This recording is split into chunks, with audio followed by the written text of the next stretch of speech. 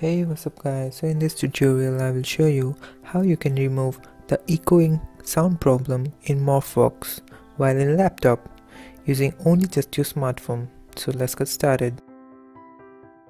First of all you need to open your smartphone and search for an app called WO Mic install it and then open it Click on the setting icons and then click on transport options then choose any of the three. I have chosen Wi-Fi here but you can choose any of the three then click on play button to start the server.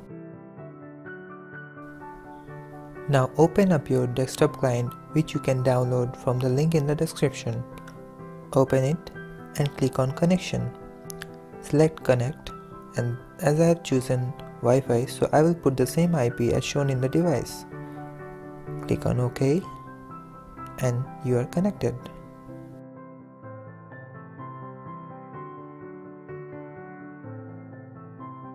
Now open Morphvox, click on Morphvox, select Preferences, select Device Settings, choose WO Mic device in microphone and any speaker or headphone in playback option.